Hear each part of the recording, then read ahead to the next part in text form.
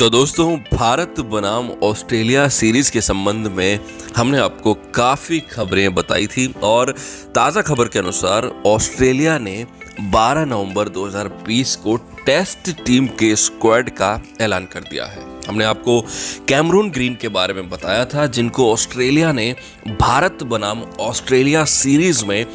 T team में जगह दी थी। दरअसल अब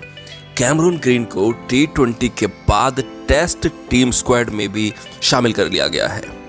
इनके अलावा एक नया फ्रेश खिलाड़ी है, जिनका नाम है विल पुकोस्की, जिनको टेस्ट स्क्वाड में शामिल किया गया है। चिकोस्लोवाकियन मूल के ऑस्ट्रेलिया में जन्मे विल पुकोस्की का जन्म 2 फरवरी उन्नीस सौ अट्ठानवे को हुआ और महज 22 साल की उम्र में वो आज ऑस्ट्रेलिया जैसी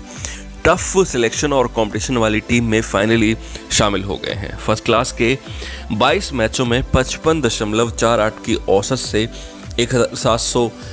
रन तो लिस्ट ए में 12 मैचों में छब्बीस दशमलव चार ज़ीरो की औसत से दो सौ चौंसठ रन बनाने वाले पुकोस्की का सिलेक्शन और नामांकन यूँ तो 2019 में ही श्रीलंका के खिलाफ ऑस्ट्रेलिया की टेस्ट टीम में हो गया था। लेकिन वो टीम में खेल नहीं पाए और रिलीज़ हो गए थे। लेकिन अपने बेहतरीन खेल से साल 2020 में शीफील्ड शील्ड सीज़न में पुकोस्की ने मार्कस हैरिस के साथ मिलकर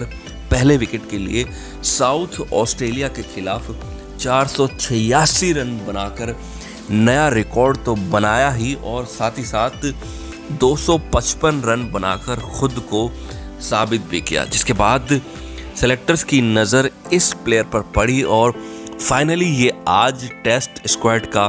हिस्सा है। पुकोस्की और कैमरून ग्रीन के अलावा सीनेबोट Joe Burns Pat Cummins Josh Hazlewood Travis Head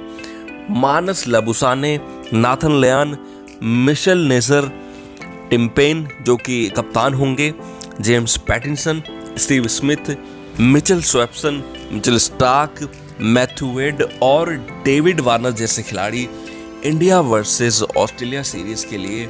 Australian test squad का हिस्सा है।